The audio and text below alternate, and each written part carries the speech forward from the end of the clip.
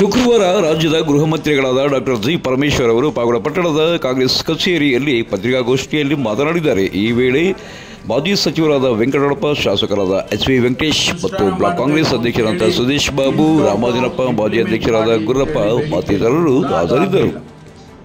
ಅದು ಸಾಲ ಮನ್ನಾ ಇರ್ಬೋದು, ಬೆಳೆಗಳಿಗೆ ಬೆಲೆ ಇರ್ಬೋದು, ಅಥವಾ ಇನ್ಶೂರೆನ್ಸ್ ಇರ್ಬೋದು. ಇದೆಲ್ಲವನ್ನು ಕೂಡ ಒಂದು ರೀತಿಯಲ್ಲಿ ಒಂದು ಸಿಸ್ಟಮ್ಯಾಟಿಕ್ ಆಗಿ ಮಾಡಬೇಕು ಅಂತೇಳಿ ನಾವು ಮಾಡಿಕೊಂಡಿದ್ದೇವೆ. ಯಾಕೆಂದರೆ ನಮಗೆ ಅರಿವಿದೆ. ಹಸಿರು ಕ್ರಾಂತಿಯನ್ನು ಈ ದೇಶದಲ್ಲಿ ತಂದವರು ಕಾಂಗ್ರೆಸ್ನವರು. ಅದಕ್ಕಾಗಿ ಆ ರೈತನ ಕಷ್ಟ, ರೈತನಿಗೆ ಸಂಬಂಧಪಟ್ಟಂಥ ವಿಚಾರಗಳ ಬಗ್ಗೆ ಕಾಂಗ್ರೆಸ್ ಪಕ್ಷಕ್ಕೆ ಚೆನ್ನಾಗಿ ಅರಿವಿದೆ. ಅದರಿಂದ ಅದನ್ನು ಕೂಡ ಆದ್ಯತೆಯಲ್ಲಿ ಮೇಲೆ ಇಟ್ಕೊಂಡಿದ್ದೇವೆ. ಇನ್ನು ನಮಗೆ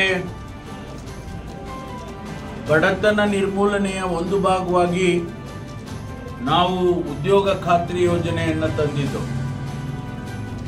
ಅದು ನೂರ, ನೂರು ರೂಪಾಯಿಯಿಂದ ನೂರ ಐವತ್ತರಿಂದ ಈಗ ಮುನ್ನೂರ ಐವತ್ತರವರೆಗೂ ಹೋಗಿದೆ.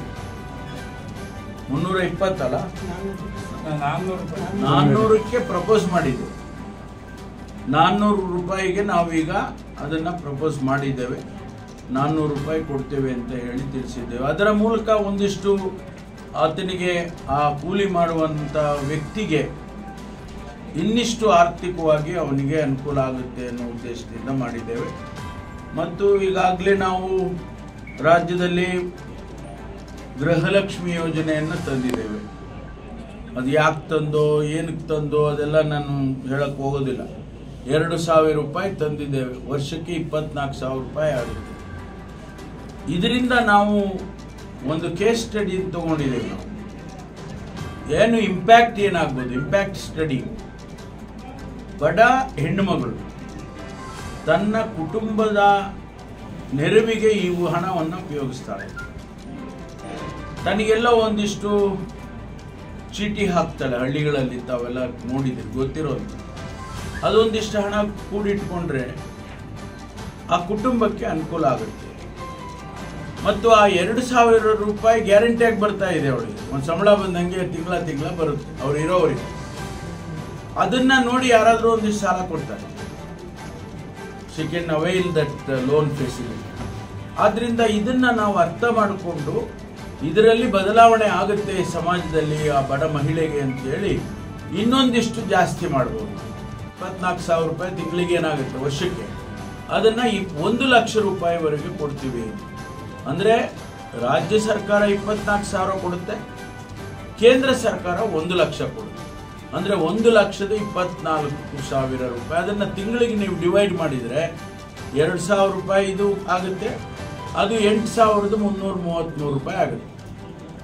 ಅಲ್ಲಿಗೆ ಹತ್ತು ಸಾವಿರದ ಮುನ್ನೂರ ಮೂವತ್ತ್ಮೂರು ರೂಪಾಯಿ ತಿಂಗಳಿಗೆ ಸಿಗುತ್ತೆ. ಬೇರೆ ಲೆಕ್ಕ ಹಾಕ್ತಿಲ್ಲ ನಾವು. ಯಾವುದು? ಬಸ್, ಫ್ರೀ ಬಸ್ಸು, ಎಲೆಕ್ಟ್ರಿಸಿಟಿ, ಅದು ಎಲ್ಲ ಲೆಕ್ಕ ಹಾಕ್ತಿಲ್ಲ ಹಾಗಾಗಿ ಅದನ್ನು ಕೂಡ ನಾವು ಆದ್ಯತೆಯನ್ನು ಮೇಲೆ ಇಟ್ಕೊಂಡಿದ್ದೀವಿ. ಇವೆಲ್ಲ poverty alleviation and also improve the social sociological issues in the society ಇದನ್ನು ನಾವು ಆದ್ಯತೆ ಮೇಲೆ ಇಟ್ಕೊಂಡಿದ್ದೇವೆ ಈ ಚುನಾವಣೆಯಲ್ಲಿ. ಸ್ವಾಭಾವಿಕವಾಗಿ ಸಂವಿಧಾನದ ಬಗ್ಗೆ ಮಾತಾಡಿದ್ದೇವೆ.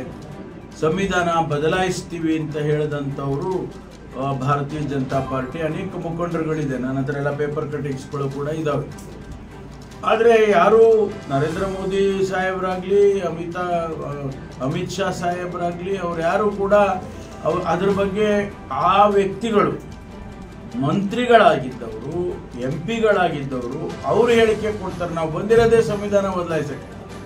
ಅವ್ರ ಮೇಲೆ ಏನು ಕ್ರಮ ತಗೊಳ್ಳಿ. ಅವ್ರನ್ನ ಪಕ್ಷದಿಂದ ಉಚ್ಚಾಟನೆ ಮಾಡೋದಾಗ್ಲಿ ಅಥವಾ ಇಲ್ಲ ರೀ ಅವ್ರು ಹೇಳೋದು ಕರೆಕ್ಟ್ ನಾವು ಮಾಡ್ತೀವಿ ಅಂತ ಅನ್ನೋದ್ರು ಹೇಳಬೇಕು. ಹಾಗಾಗಿ ಅದು ಇವತ್ತು ನಮಗೆ ಈ ದೇಶದ ಯಾರು ಸ್ವಲ್ಪ ಮಟ್ಟಿಗೆ ರಾಜಕೀಯ ಅಥವಾ ಸಾಮಾಜಿಕ ಜೀವನವನ್ನು ಅರ್ಥ ಮಾಡ್ಕೊಳ್ಳಬಲ್ಲರು ಅವರಿಗೆ ಅರ್ಥ ಆಗ್ತದೆ. ಸಂವಿಧಾನ ಅಂದ್ರೇನು, ಸಂವಿಧಾನ ಬದಲಾಯಿಸಿದ್ರೇನು, ಇದೆಲ್ಲ ಅರ್ಥ ಆಗುತ್ತೆ. ಹಾಗಾಗಿ ನಾವು ಯಾವುದೇ ಕಾರಣಕ್ಕೂ ಆ ಸಂವಿಧಾನವನ್ನು ಬದಲಾಯಿಸೋದಕ್ಕಾಗಲಿ ಅದನ್ನು ಅಮೆಂಡ್ ಮಾಡಿ ಉತ್ತಮ ಮಾಡ್ಕೋಬೋದೇ ಬಿಟ್ಟರೆ ಅದನ್ನು ಬದಲಾಯಿಸುವಂಥ ರೀತಿಯಲ್ಲಿ ಯಾವುದೇ ಅವಕಾಶವನ್ನು ನಾವು ಕೊಡೋದಿಲ್ಲ ಕಾಂಗ್ರೆಸ್ನವರು ಅಂತೇಳಿ. ಇದೆಲ್ಲ ಜನರಲ್ ಆಗಿ ಬರುವಂಥ ವಿಚಾರಗಳು. ಹಾಗಾಗಿ ಇವತ್ತು ಈ ಚುನಾವಣೆ ರಾಜ್ಯದಲ್ಲಿ ನಾವು ಇಪ್ಪತ್ತೆಂಟು ಸೀಟಿಗೆ ಇಪ್ಪತ್ತು ಗೆದ್ದಿದ್ದೇವೆ.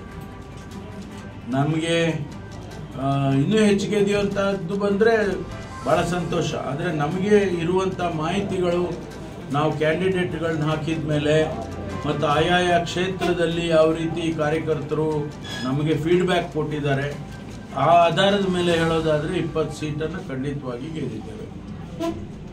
ಚಿತ್ರದುರ್ಗ ಗೆದ್ದಿದ್ದೀವಿ, ತುಮಕೂರು ಗೆದ್ದಿದ್ದೀವಿ, ಮತ್ತು ಬೆಂಗಳೂರು ಗೆದ್ದಿದ್ದೀವಿ, ರೂರಲ್.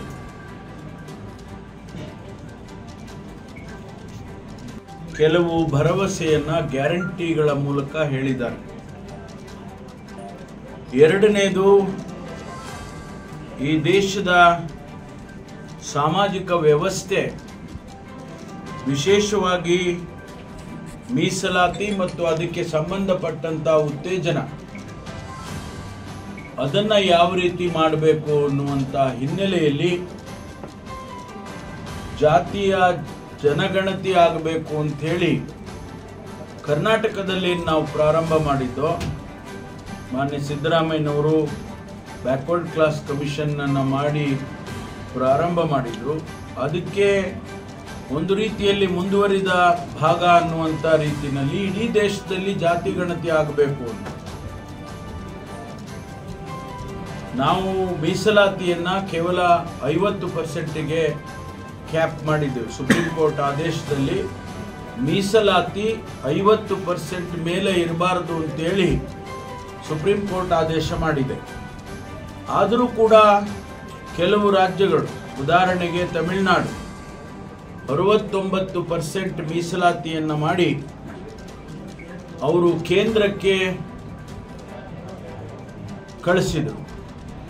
ಕೇಂದ್ರ ಅದನ್ನು ಅನುಮೋದನೆ ಮಾಡಿ ಸಂವಿಧಾನದ ಒಂಬತ್ತನೆಯ ಶೆಡ್ಯೂಲ್ ನೈನ್ತ್ ಶೆಡ್ಯೂಲ್ಗೆ ಅದನ್ನು ಸೇರಿಸುವುದರ ಮೂಲಕ ಅದನ್ನು ಅಧಿಕೃತ ಮಾಡಿಕೊಟ್ಟಿದ್ದಾರೆ. ಒಂದು ರಾಜ್ಯದಲ್ಲಿ ಅರವತ್ತೊಂಬತ್ತು ಪರ್ಸೆಂಟ್ ಮೀಸಲಾತಿ ಕೊಡಬಹುದಾದರೆ ಬೇರೆ ರಾಜ್ಯಗಳು ಯಾಕೆ ಆಗಬಾರದು ಅನ್ನುವಂಥ ಪ್ರಶ್ನೆ ಬಂದಿದೆ. ಅದಕ್ಕಾಗಿ ನಾವು ಮುಂದೆ ಅಧಿಕಾರಕ್ಕೆ ಬಂದರೆ ಐವತ್ತು ಪರ್ಸೆಂಟ್ ಕ್ಯಾಪ್ ಏನಿದೆ ಅದನ್ನು ತೆಗೆಯೋ, ತೆಗೆಯೋದಕ್ಕೆ ಪ್ರಯತ್ನ ಮಾಡ್ತೀವಿ ಅಂತ ಹೇಳಿ ನಾವು ಇವತ್ತು ಜನಸಮುದಾಯಕ್ಕೆ ತಿಳಿಸ್ತಾ ಇದ್ದೇವೆ. ಅದರ ಮೂಲಕ ಯಾರು ಹಿಂದುಳಿದಿದ್ದಾರೆ, ದಲಿತ ಸಮುದಾಯಕ್ಕೇನು ಹದಿನೆಂಟು ಪರ್ಸೆಂಟ್ ಮೀಸಲಾತಿ ಈಗಾಗಲೇ ಎಸ್ ಸಿ ಎಸ್ ಟಿ ಕೊಟ್ಟಿದೆ. ಅದರ ಜೊತೆಗೆ ಹಿಂದುಳಿದ ಸಮುದಾಯಗಳಲ್ಲಿ ಅನೇಕ ಸಮುದಾಯಗಳು ಶೋಷಿತ ಸಮುದಾಯಗಳಾಗಿ ಆಗಿದ್ದಾವೆ, ಅವು ಮುಂದೆ ಬರಬೇಕು ಅನ್ನೋದರಲ್ಲಿ ಈ ಮೀಸಲಾತಿ ಅಥವಾ ಈ ಕ್ಯಾಪ್ ಮಾಡಿರೋದನ್ನು ತೆಗೆದ್ರೆ ಅನುಕೂಲ ಆಗ್ತದೆ ಅಂತ ಹೇಳಿ ನಾವು ತೀರ್ಮಾನ ಮಾಡಿದ್ದೇವೆ. ಇನ್ನು ನಮಗೆಲ್ಲ ಗೊತ್ತಿದೆ ಕೃಷಿ ಕೃಷಿ ಕ್ಷೇತ್ರಕ್ಕೆ ಪ್ರೋತ್ಸಾಹ ಕಳೆದ ಹತ್ತು ವರ್ಷದಿಂದ ನಿರೀಕ್ಷಿಸಿದ ಮಟ್ಟಕ್ಕೆ ಸಿಗಲಿಲ್ಲ.